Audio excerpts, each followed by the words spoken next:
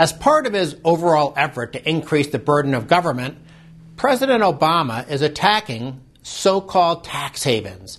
Obama and the rest of the crowd in Washington want bigger government, so attacking low tax jurisdictions makes sense from that statist perspective.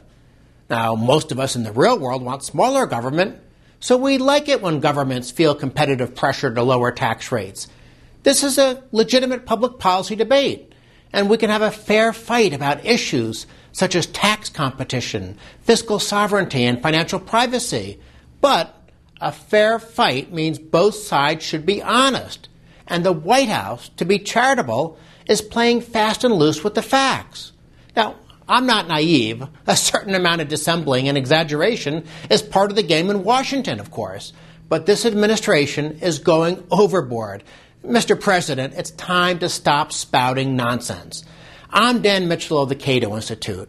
In this short Center for Freedom and Prosperity video, we're going to look at two examples of reprehensible demagoguery.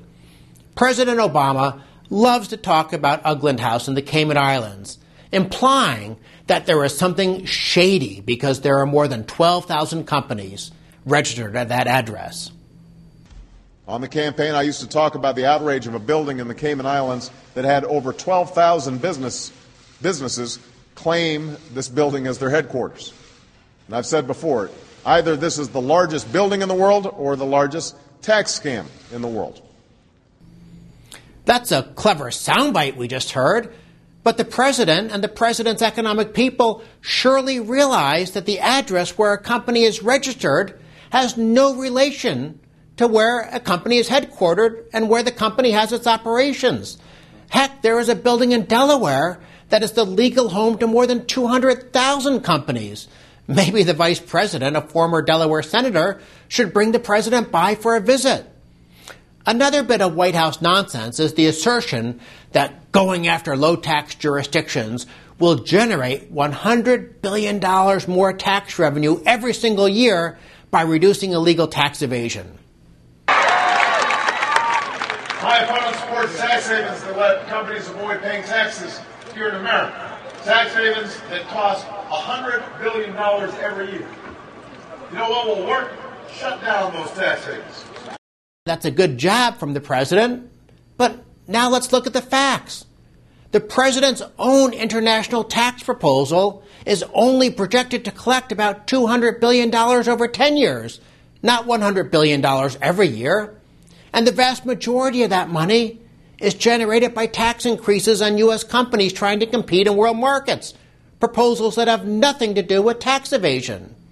If you look at the portion of his proposal that actually deals with supposed evasion in low tax jurisdictions, the White House itself estimates it will generate just 8.7 billion over 10 years.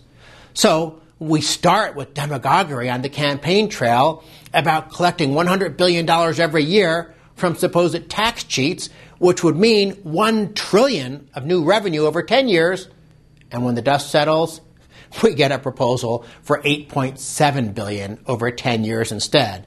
And even that number almost surely is an exaggeration. So what does all this mean?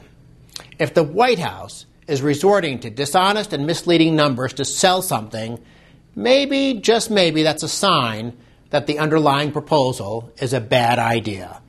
As always, we hope you can share this video with your friends and colleagues. I'm Dan Mitchell of the Cato Institute on behalf of the Center for Freedom and Prosperity. Thanks for watching.